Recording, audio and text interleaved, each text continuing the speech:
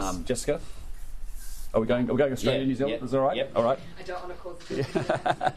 um, Jessica Mackay from Television New Zealand. Hi. How hard are you pushing Prime Minister Luxon to join Pillar 2?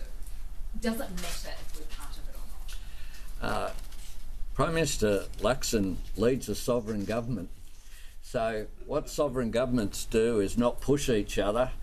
Uh, They talk through issues and they cooperate. And we'll do that. And we'll look for opportunities where there are uh, prospects of greater cooperation. Uh, we have a, a very good relationship between our two nations. Uh, and uh, we have a very good personal relationship as well, and I look forward to building on that. Uh, the Australian. Thanks, uh, Mr. Albanese, and first to Gerard from Australia. Um, your chief of defence joined in talks with the US Secretary of State on the Red Sea situation. Um, Matt Thistlethwaite said this morning that the chief of defence gained some further information in that meeting.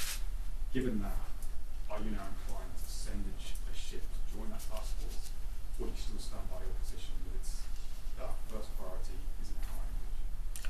Well, Australia participated uh, last night, as we do. We're one of the 39 countries in the combined maritime force. Uh, we are making a contribution there.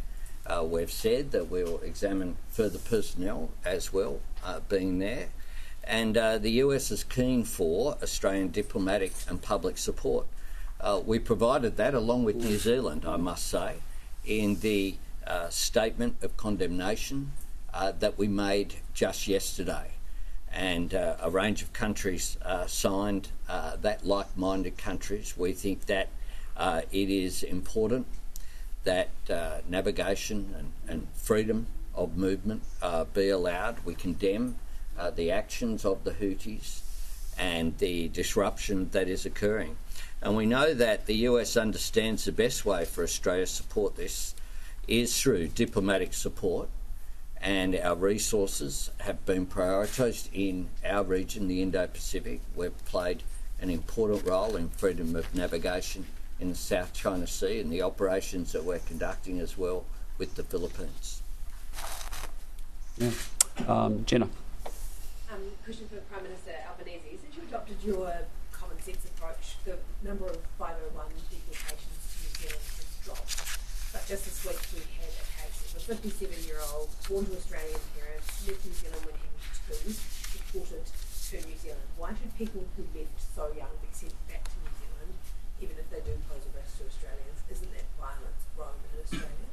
Well, I, I don't comment on individual cases. Uh, what I would say is that Australia's position has been to apply a common sense approach uh, to these issues.